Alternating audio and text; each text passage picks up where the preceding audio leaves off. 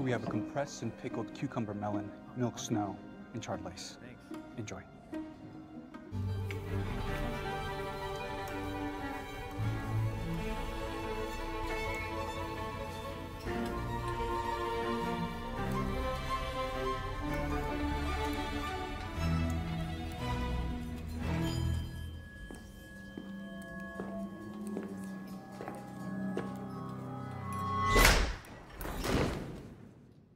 Good evening. Our first course is called the island. On your plate are plants from around the island placed on rocks from the shore, covered in barely frozen filtered seawater, which will flavor the dish as it melts.